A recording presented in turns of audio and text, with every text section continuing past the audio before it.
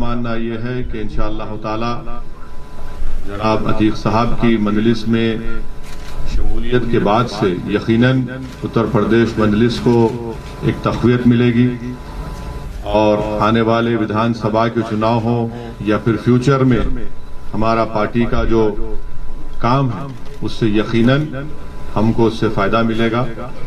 तो मैं दिल की गहराइयों से बड़ी बहन भाभी का, उनके पूरे परिवार का वेलकम करता हूँ।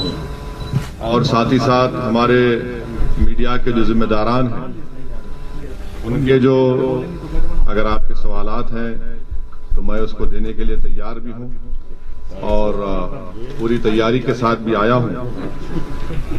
ताकि आप लोगों को कोई तकलीफ़ ना हो। अगर आप इजाज़त दें तो मैं खुद ही बिस्मिल्लाह करता हूँ, शुरू करता हूँ। तो आपका ज़ाहिर है, पहला सवाल होगा, हमारे भाई अतीक अहमद साहब के ताल्लुक से, कि आप उनको ले रहे हैं, इनके खिलाफ केसेस हैं, फुला हैं, ये हैं। देखिए, उत्तर प्रदेश में 37 परसेंट जो बीजेपी के एमएलए हैं उनके खिलाफ क्रिमिनल चार्जेस हैं बीजेपी में जो 116 एमपी हैं, उनके खिलाफ क्रिमिनल चार्जेस हैं. 87 परसेंट बीजेपी एमपी के खिलाफ सीरियस क्रिमिनल चार्जेस 116 में से. जो एडीआर की रिपोर्ट है, उसमें कहा गया कि BJP has most number of MPs and MLA with cases of crime against women ADR ये कहता है कि बीजेपी एक एनजीओ है जो तमाम हमार हम लोगों का रिकॉर्ड रखता है। उन्होंने कहा कि बीजेपी में ऐसे कई एमपी एमएलए हैं जो जिनके खिलाफ, महिलाओं के खिलाफ मुकदमा है। थर्टी परसेंट उसमें सीरियस चार्जेस है उनके ऊपर। और बीजेपी की जो अलाई जेडीयू है, उसमें 81 परसेंट एमपी के ऊपर क्रिमिनल चार्जेस हैं। बीजेपी में एक सांसद है, मध्य प्रदेश से, उनके खिलाफ तो और सीरियस चार्ज है, आप जानते हैं। जो माजी में नाथुराम गोडसे को अपना हीरो माना, और हेमंत करकरे के ताल्लुक से अनाप शनाप बका। और पांचवी बात यह है कि इस साल मार्च में सुप्रीम कोर्ट को जो एमिकस क्यूरी ने रिपोर्ट दी, सुप्रीम कोर्ट को यह बताया गया कि उत्तर प्रदेश में 77 केसेस जो मुजफ्फरनगर राइट के थे, उनको उत्तर प्रदेश की सरकार ने विड्रॉ किया।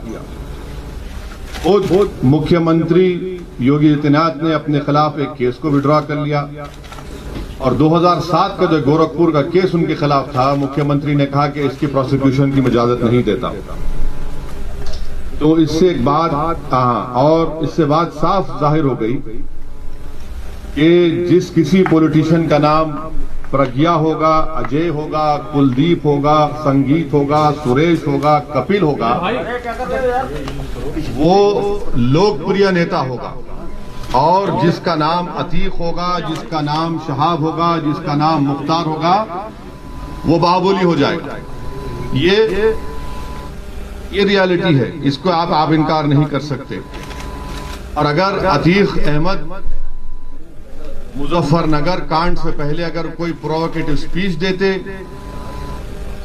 और गोरखपुर में कोई और भाषण दे देते और उसके बाद गड़बड़ हो जाती तो हो सकता या फिर उनका उस समाज से ताल्लुक होता जिसके पास सत्ता है तो यकीनन उनके खिलाफ भी केसेस विड्रा हो जाते। तो ये तल हकीकत है और भारत के कानून के लिहाज से अभी तक उन पर किसी भी केस में कन्विक्शन नहीं हुआ है। और उन भाभी हमारी बड़ी बहन भी हैं, वकील साहब भी उनके हैं। तो ये आपको सवाल आप कर, जो करने के बजाय मैं खुद उन सवाल का थोड़ा बहुत तजुर्बा मुझे है, इतना बड़ा नहीं है आपकी तरह। आपका और मेरा वक्त बचाने के लिए मैंने ये बात आपके सामने रखी। अब हम लोग अपने मेम हाँ पहले मेंबरशिप का अतीक साहब की मेंबरशिप भी है हमारी बड़ी बहन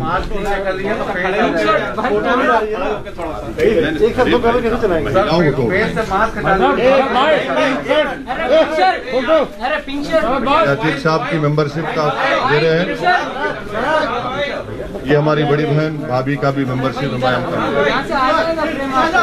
भाई। और सबसे पहले पकड़ लेंगे। बिल्कुल बिल्कुल। आप जैसा बोले ले अभी एक बार और एक बार। आप ले लीजिए हमारा वो आपको आप देख लीजिए। आपकी बरादरी है। तो मैं अब हाँ इधर भी देख लीजिए।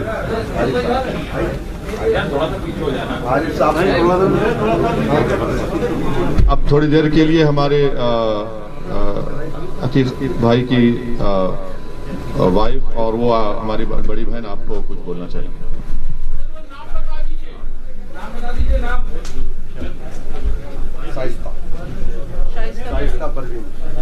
अरे भाई पिंक शर्ट आप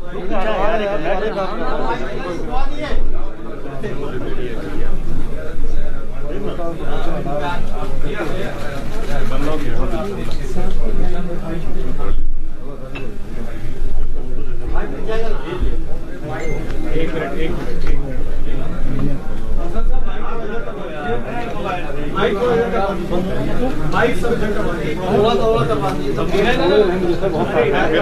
नहीं पूछने वाले हमसे कर दे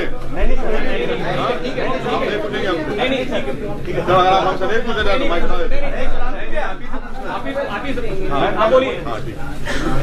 मीडिया से जुड़े सभी पत्रकार बंधु। मीडिया से जुड़े सभी पत्रकार बंधु आदाब अस्सलाम वालेकुम। मैंने बरिस्टर जनाब असदुद्दीन ओवैसी साहब की बहुत सी तकरीरें सुनी और पार्लियामेंट में उनके डिबेट भी सुने और उनकी काबिलियत और दूरदर्शिता से बहुत प्रभावित हुआ। बैरिस्टर जनाब असदुद्दीन ओवैसी साहब का देश के प्रति प्रेम और संविधान के प्रति उनकी आस्था, अल्पसंख्यकों एवं दलितों के प्रति उनके प्रेम और उनके मिशन को देखते हुए मैं उनकी party All India Majlis Ittehadul Muslimeen, M I M I M को ज्वाइन करता हूँ और मैं भी करती हूँ। आप सबसे सहयोग की अपेक्षा है।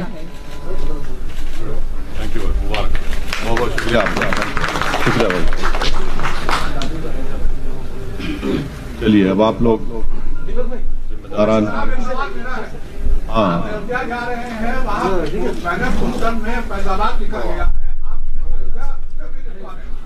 लिखना लिखेंगे डिस्ट्रिक्ट है। अयोध्या लिखा है उसमें। हमारे शौकत साहब पीछे खड़े हैं प्रेसिडेंट अयोध्या लिखा है। नहीं नहीं, अरे क्यों? अरे भाई पार्ल- फैजाबाद पार्लियामेंट कॉन्स्टिट्यूंसी में अयोध्या आता नहीं आता? आता है ना? क्यों नहीं मानेंगे? ओवैसी साहब इरफान सोलंकी है समाजवादी पार्टी के विधायक उनका कहना है कि विधानसभा में एक प्रेयर कक्ष होना चाहिए।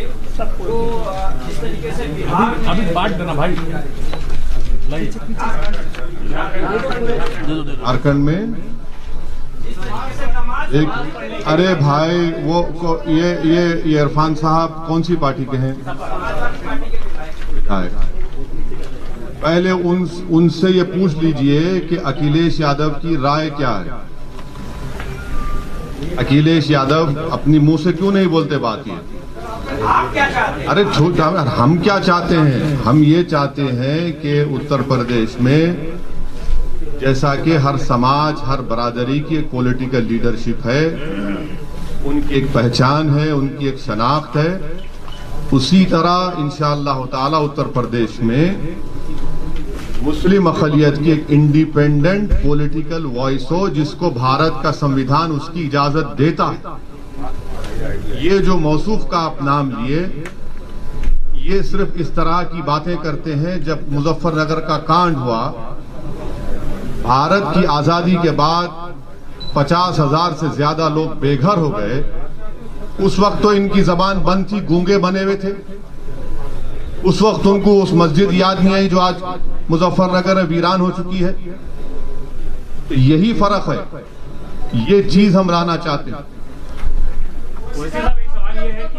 कि आपने आज़म खान साहब के स्वास्थ्य के बारे में बोला कि जल्दी वो स्वस्थ हो जाए, उनकी यूनिवर्सिटी बची रहे, क्योंकि वो यूनिवर्सिटी सबकी है।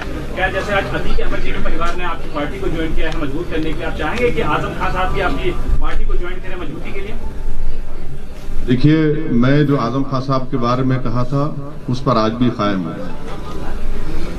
मगर आज वो जिस उलझनों में है परेशानियों में है तो उस तरह का पॉलिटिकल जवाब मैं नहीं दे सकता अगर मेरी नेक तमन्ना है हमारी ऐन ख्वाहिश है कि अल्लाह सुबहाना ताला उनकी तमाम मुश्किल में आसानी पैदा करे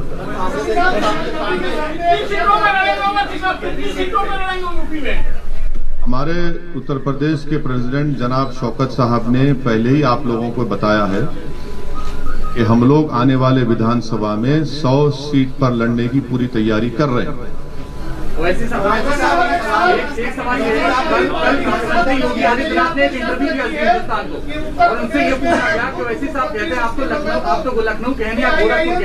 उन्होंने कहा हाँ क्या क्या? उनसे एक सवाल पूछा गया। तो ऐसे साहब ने कहा, आप तो लखनऊ के लिए आप तो गोरखपुर के उन्होंने ये कहा कि एक एक का डीएनए टेस्ट होना चाहिए, पता चल जाएगा कौन कहाँ का करवा लीजिए, चलिए, बाकी है तो आइए डीएनए कराते हैं। चलिए, करा लेते हैं डीएनए आप करा लीजिए, हम तैयार हैं। आप कराएँगे, आपको भी कराना पड़ेगा। अब ये नौबत आ गई कि डीएनए कराएँगे। यानी भारत के संविधान को नहीं मानेंगे डीएनए को मानेंगे। कहिए, चलिए। Sir IFS chief Mohan Bhagwat ने कहा कि भारत में मुसलमान इन्वेडर्स के ज़रिए आए हैं, इस्लाम मज़हब इन्वेडर्स के ज़रिए आया है, और जितने भी सेंसिबल लीडर्स हैं, उनको ये मांग करनी चाहिए कि जो भी कट्टरपंथ की बात करे, उसका विरोध करना चाहिए, कट्टरपंथ मुसलमानों का। कि ये गोल मोल की बात हमेशा भगवत करते हैं। कभी बोले, डीएनए हमारा एक है, लिंचिंग करने वाला गलत है। ये एक ही सांस में, ये तो ये तो हमेशा रंग बदलते रहते हैं ना अपना। कभी एक बात बोलते हैं, कभी एक बात बोलते हैं। ये तमाम के तमाम संघी लोग जो होते हैं, वो हिस्ट्री के बड़े वीक होते हैं। हिस्ट्री अगर पढ़ लेते तो मालूम होता कि वेस्ट कोस्ट पर इस्लाम पहले आया, इन्वेडर से नहीं आया। तो हिस्ट्री में कमज़ोर है। तो बताना ये चाहते हैं कि वो जो आरएसएस की जो आइडियोलॉजी है, जिसमें गुलवालकर और आपके सावरकर ये दोनों ही बताते हैं ना कि पुत्र होली लैंड और मदर लैंड की जो गुफ्तु करते हैं तो उसी के रोशनी में, उसी को रिक्रिएट करते हुए मोहन भगवत ने बात कही है। और मोहन, सुनिए, मो- अरे आपको सुन तो लीजिए, इतना तकलीफ़ क्यों हो रही है उनका क्रिटिसाइज कर रहे हैं तो। मोहन भगवत को जो पहली कॉन्स्टिट्यूशन की किताब बनी गई थी, जो आज भी लोकसभा पार्लियामेंट में है, उसमें मुगल बादशाह अकबर की फ़ोटो है। टीपू सुल्तान की है। संविधान बनाने वालों ने उनकी तस्वीर डाली। उसके ऊपर क्या कहेंगे वो? तो इसीलिए कह रहा हूँ कि हिस्ट्री में बड़े वीक हैं वो।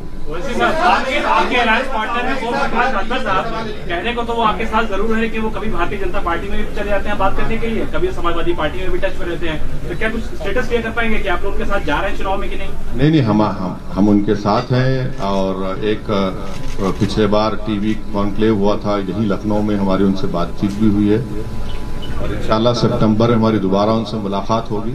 बात होगी साहब किन किन दलों से अभी तक आपका संपर्क हुआ है? उत्तर प्रदेश में सौ प्रत्याशी आप उतार रहे हैं और आपने समाजवादी पार्टी को भी एक प्रस्ताव दिया था कि अगर यूपी में उप मुख्यमंत्री मुस्लिम होगा तो ओवैसी की पार्टी उनके साथ मिलकर चुनाव लड़ेगी। क्या आपका कहना है?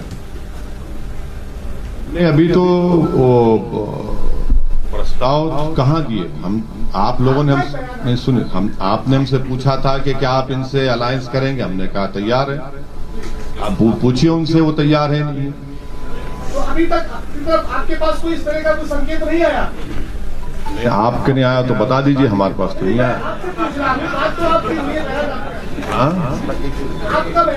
मेरा बयान नहीं आप ही के जिम्मेदारों ने मुझसे सवाल किया था तो मैंने उसका ही जवाब दिया हाँ। हाँ तो समझती है हाँ अब लैला की दुश्मनी में तो करते हैं ना पूरे मजनू तो इनको लगता है कि अ, अ, सपा को या जो भी बीएसपी अगर एक ऐसा हमको अनटचेबल बनाना चाहती है तो हमको कोई एतराज़ नहीं है। हम उत्तर प्रदेश की जनता में जाएँगे और उनको भी ये पैगाम देंगे कि देखिए ये हमको अनटचेबल बना रहे हैं। और मकसद परेशानी इनको इस बात की है कि जब हम ये कहते हैं कि 19 परसेंट मुसलमान और आप एम वाई कॉम्बिनेशन की बात करते हैं, आप 11 परसेंट। और 19 परसेंट गुलामी आपकी करते रहे, आपकी जय जयकार करते रहे, आपको मुख्यमंत्री बनाए, आपको वोट दे। और आप हिस्सेदारी की जब बात होती है तो बात ही नहीं करते आप। मुजफ्फरनगर का इतना बड़ा, मुजफ्फरनगर का इतना बड़ा फसाद हुआ।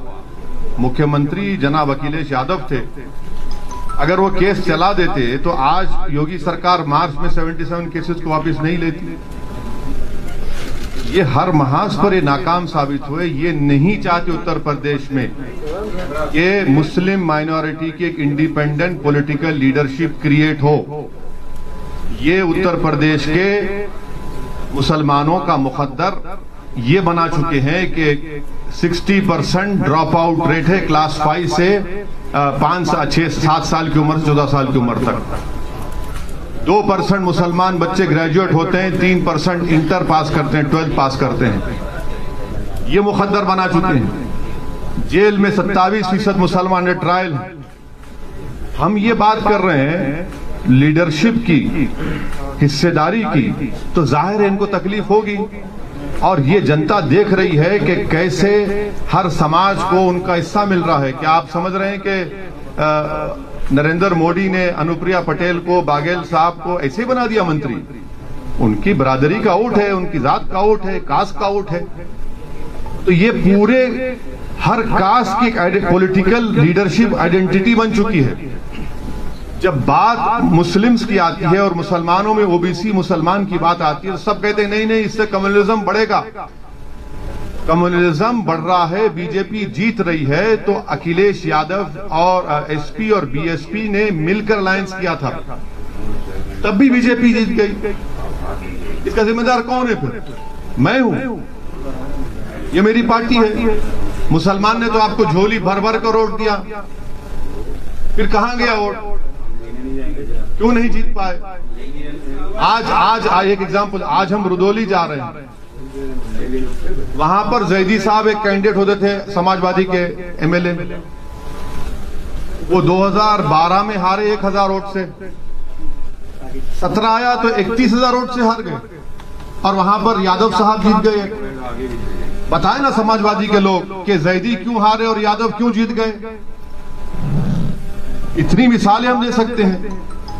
खाली मुसलमानों के सहारे आप क्यों जीतना चाहते हैं मुसलमानों के सहारे अकेले आप नहीं आप आपका सवाल बिल्कुल सही है मैं तो अल्लाह के सहारे जी रहा हूँ और कामयाब होऊँगा आपने गलत फहमी आपको हाँ बिल्कुल मिला रहे हैं भाई कौन कह रहे हैं नहीं मिला रहे हैं आपने कहा कि आगे क्या करेंगे हम तो बिल्कुल चाह रहे हैं अभी हम राजभर साहब के साथ हैं मुख्तलिफ़ अ, हमारे ओबीसी ऑर्गेनाइजेशंस के साथ हैं पार्टीज़ के साथ हैं हाँ हाँ राजा भैया की बात कर रहे हैं। जब राजा यहाँ बैठा है ना आपके सामने। हम खुद बैठे हैं भाई क्यों आप बात कर रहे हैं? वैसे साहब बिहार का उदाहरण आपके सामने है। विपक्ष के बिखराव के चलते नीतीश की सरकार बनी। क्या लगता है उत्तर प्रदेश में जिस तरह से फिर से आप गलत सवाल कर रहे हैं। आप आप आप स्टडी करके देखिए आप एक जिम्मेदार जर्नलिस्ट हैं। नहीं नहीं नहीं नहीं नहीं आपको जिम्मेदार हैं आप। आप बड़े पढ़े लिखे हैं। आपको थोड़ा रिसर्च करना चाहिए। कितने? नहीं, वो अच्छा अब अब अब ठीक है, ठीक, चलिए, अब आपसे बहस होगी अब। अब बताइए कितने सीट है, मैम लड़ी? लड़े कितने? झूठ? झूठ? झूठ, अब अपना मज़ाक मत बनाइए ठीक है मज़ाक मत बनाइए। आपकी झूठ साबित हो गई। आपकी झूठ साबित हो गई। आपकी झूठ साबित छोड़ रहे ठहरिए। अब सुनिए। अब अब सुनिए। देखिए, आपकी इग्नोरेंस को तो हम नहीं हटा सकते। पर आपको बता रहे हैं, आपने कहा बिहार में साठ सत्तर लड़े हम। आपने कहा ना अभी? नहीं लड़े। सुनिए, नहीं लड़े। बीस लड़े। उन्नीस, चलिए जीते कितने? पाँच।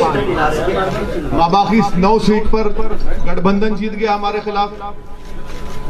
पाँच सीट, सुनिए सुनिए, पाँच सीट पर एनडीए जीत गया और नौ और पाँच के अगर वोट्स मिला भी लेंगे आप, तब भी वो मेजोरिटी के करीब नहीं है, जो जीते वो लोग।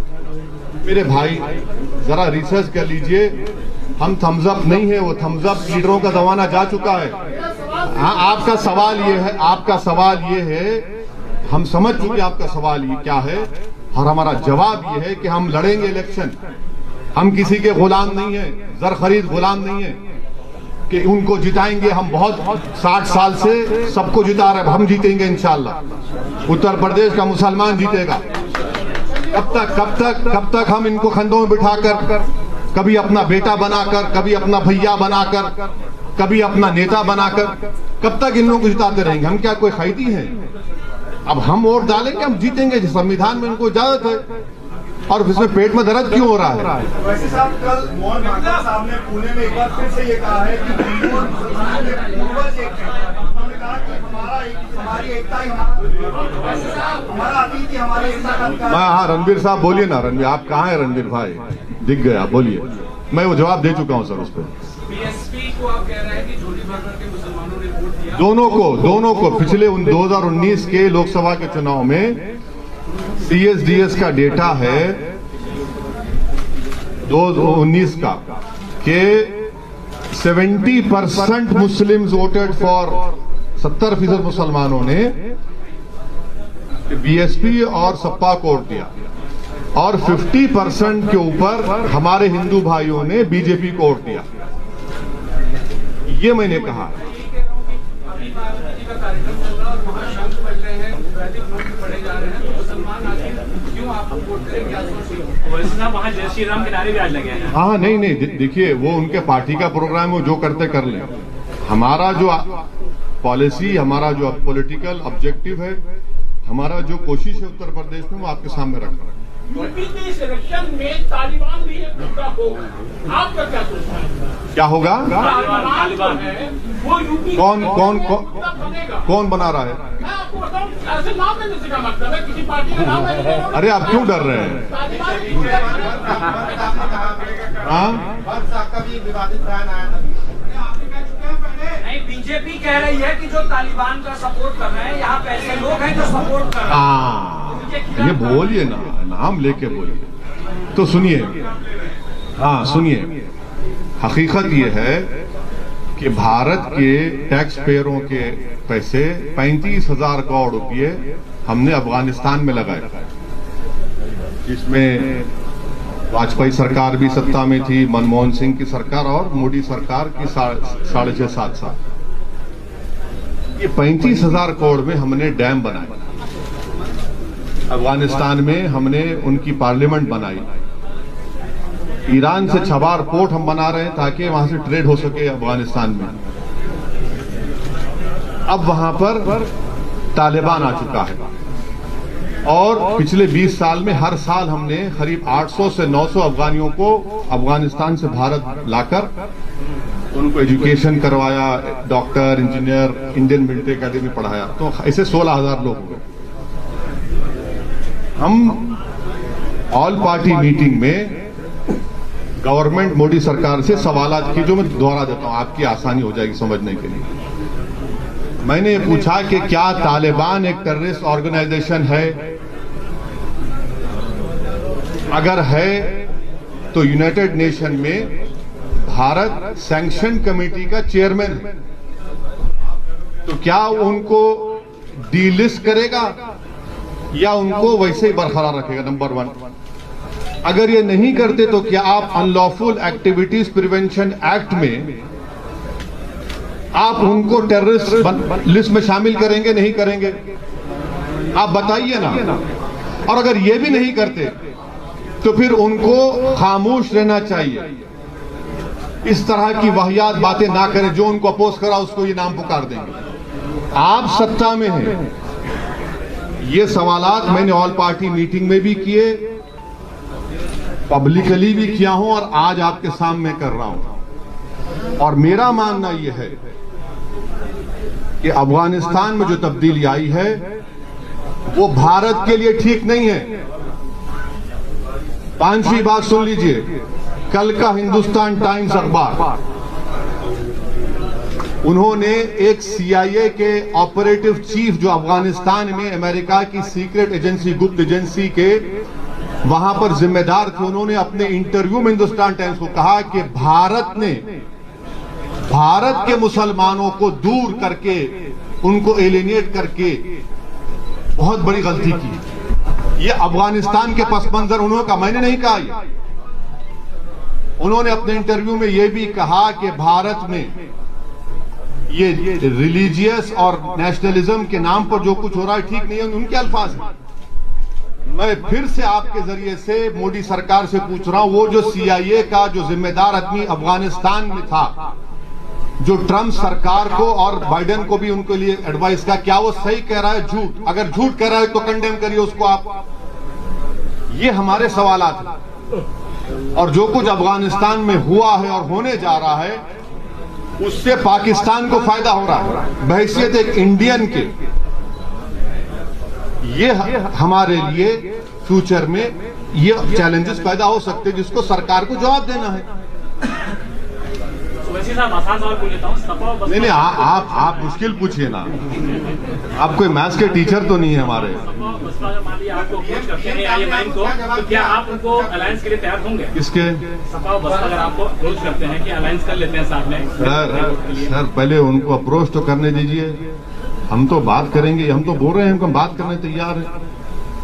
वो बात तो करें ना सर। वैसे साहब एक सवाल मेरा है कि जितनी भी विपक्षी पार्टियाँ हैं उत्तर प्रदेश में जितनी भी विपक्षी पार्टियाँ हैं उनके पास संगठन है समाजवादी पार्टी बसपा पार्टी कांग्रेस जो भी है आपको लगता है हमारे पास नहीं आपके है पास आपको लगता है हमारे पास नहीं है? उत्तर प्रदेश में सर आपको आपको एक दिन हम अपनी गाड़ी में लेकर फिरेंगे। बीस दस पंद्रह जिला लेकर जाएँगे और आप थक जाएँगे इतना फिरेंगे हम। आपको बताएँगे संगठन कहाँ है। बिल्कुल है संगठन। आप अगर आप बात कर रहे हैं- एक एक मिनट। अगर आप बात कर रहे हैं 2017 की तो यकीनन मानता हूँ।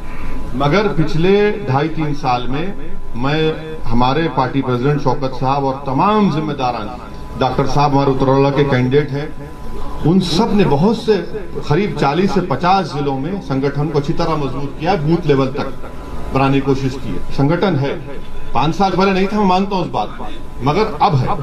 लेकिन पिछड़ा वर्ग जो है, ओबीसी है और अल्पसंख्यक जो है, वो रोडों पे दिखे, लेकिन आपकी पार्टी उनको समर्थन करती नज़र नहीं है। रोडों पे दिखे। अभी भी रोड पे है। किसने पार्लियामेंट में सी डबल ए का बिल फाड़ा।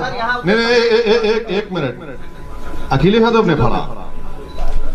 कांग्रेस ने फाड़ा। कौन? किसने राह दिखाई कि ये सी डबल ए का कानून दो मज़हब के लोगों को मज़हब की बुनियाद पर देश को कमज़ोर कर रहा है? हमने कहा। आज भी हम साथ हैं। हम आपको ये कहना चाह रहे हैं कि जरा हमारे नज़रिए से बात को देखिए। इसलिए आपकी बात आपका सवाल सही है मगर वो सवाल में सच्चाई नहीं वैसे साहब योगी आदित्यनाथ के लिए आपने कहा कि इंशाल्लाह योगी को मुख्यमंत्री नहीं बनने देंगे। आप चुनाव लड़ रहे हैं सौ सीटों पर। फिर मुख्यमंत्री कौन बनेगा और मैथ क्या है देखिए आप जानते हैं बीजेपी के एक एमपी हैं पाल साहब। हैं। जानते हैं ना? पाल साहब बने थे ना मुख्यमंत्री? यहाँ पे हम भी तो पॉलिटिकल स्टूडेंट हैं। पॉलिटिकल स्टूडेंट है। कर्नाटका में येदुरप्पा बने। होता है भाई। हो सकता है इंशाल्लाह क्यों नहीं होगा? हमारा ऑब्जेक्टिव है कि उत्तर प्रदेश से बीजेपी को हराया जाए। हमारा कोशिश होगी इंशाअल्लाह ताला कि उत्तर प्रदेश से हम एमआईएम के विधायक बने। हमारी कोशिश होगी कि अतीक साहब और भाभी और जो भी उनके परिवार से लड़ना चाहेगा वो विधायक बनकर जाकर उत्तर प्रदेश में ज़ोर से नाइन श्रृंखला आवाज़ उठाए। तो ये हमारी कोशिश होगी। ये हमारा ऑब्जेक्टिव है। इसमें बुरी बात क्या है? इसमें तकलीफ़ क्यों नहीं क्या बात? है? सौ सीटों पर आप चुनाव लड़ अरे भाई हमने कहा कि सौ सीट पर तैयारी हो रही है। तो हमने कहा कि सौ एक सौ से बढ़ेंगी हो सकता है। सर आप भागीदारी संगठन मोर्चा में है। बिल्कुल। क्यों नहीं देंगे? आ क्यों नहीं देंगे? बराबर देंगे। ओबीसी हमारे भाई है दलित हमारे भाई है। क्यों नहीं देंगे? बराबर देंगे। एप्लीकेशन भी है बहुत से लोग अप्लाई करें बिल्कुल देंगे। इंशाल्लाह जीतेंगे वोट भी मिलेंगे। ओबीसी ओबीसी समाज के लोग रिजर्वेशन के खिलाफ लेकर प्रदर्शन कर रहे हैं लखनऊ में। ओबीसी समाज के लोग रिजर्वेशन को लेकर प्रदर्शन कर रहे हैं। नहीं, नहीं, वो- वो- शिक्षा भर्ती आपकी पार्टी का क्या वो ये कह रहे हैं हमने पार्लियामेंट में कहा कि ओबीसी समाज का सेंसस होना चाहिए। बराबर होना चाहिए। मुसलमानों में भी ओबीसी हैं। उनका भी सेंसस होना चाहिए।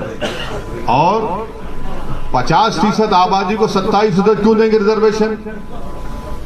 और जो 20 फ़ीसद है उनको 50 फ़ीसद रिजर्वेशन मिल रहा है। और भारत के प्रधानमंत्री नरेंद्र मोदी को कहते हैं कि मैं ओबीसी हूँ। ये कौन सी मोहब्बत और वफा की बातें प्रधानमंत्री कर रहे हैं? तो देश में कास्ट सेंसस होना चाहिए। और सेंसस की बुनियाद पर ही तो आप पॉलिसी बनाते हैं ना। और भारत को आज़ाद होकर 70 साल हो गए तो सेंसस क्यों नहीं होगा ओबीसी का? जब सेंसस में SC, ST, minority Hindu non Hindu लिखा जाता है रिलीजन तो ये क्यों नहीं किया जाता? करना चाहिए। हम बराबर और आखिरी बात 50 फ़ीसद का ये जो रिजर्वेशन है इसको खत्म करना चाहिए। इसको आगे बढ़ना चाहिए। ये हमारा पार्टी का हमने बात पार्लियामेंट में अपनी स्पीच में कही आप देख भी सकते हैं। Thank you sir thank you Millat times को आपकी ज़रूरत है। हमारी आप माली मदद करें। हर महीने सिर्फ़ सौ रुपये और एक साल के लिए एक साल सिर्फ़ हज़ार रुपये। रकम भेजने के लिए यहाँ दिए गए फ़ोन पे, गूगल पे और पेटीएम नंबर का इस्तेमाल कर सकते